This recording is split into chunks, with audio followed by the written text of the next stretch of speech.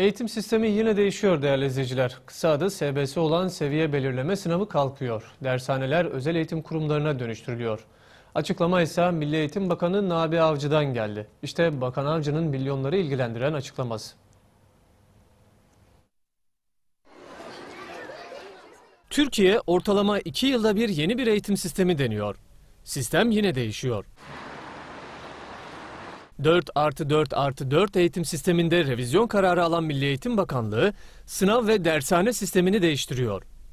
Basın toplantısı düzenleyen Milli Eğitim Bakanı Nabi Avcı, kısa adı SBS olan seviye belirleme sınavının kaldırılacağını söyledi. tek bir sınav olmayacak.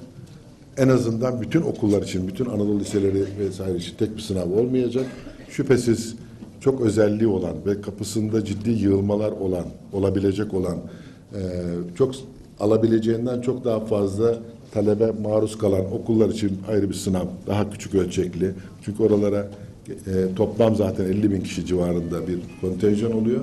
Dolayısıyla 100 bin kişinin, 120 bin kişinin katılacağı bir sınav ayrıca yapılabilir ama yapılacak ama e, asıl büyük e, değerlendirmeyi yani çağ nüfusunun genel değerlendirmesini daha önce tek bir sınavla SBS ile yapılan değerlendirmeyi müfredatın gereği olarak yapılması gereken sınavlara, sene içerisinde yapılacak olan sınavlara bir disiplin, bir çeki düzen getirerek sağlamayı ümit ediyoruz. Bakan Nabi Avcı, dershaneler konusunda son derece önemli bir açıklama yaptı ve onları özel eğitim kurumlarına dönüştürüyoruz dedi. Çünkü dershanelerle e, milli eğitimimize paralel. Ben bunu mecliste de paralel bir eğitim sistemi oluşması, oluşmaması için diye açıkladım. Fakat nedense bazı e, e, basın yayın organlarında paralel kelimesi paralı olarak çıktı.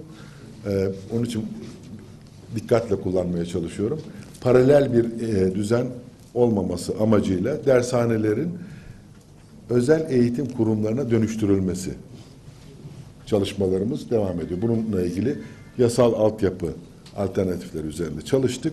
Ee, bunları zannediyorum önümüzdeki e, ders yılına itibaren yürürlüğe girecek şekilde hazırlıklarımızı tamamladık. Peki dershanelere kayıt yaptırmak isteyen veya yeni kayıt yaptıranlar ne yapmalı? Dershaneler konusunda da velilerimiz çok acele etmesinler.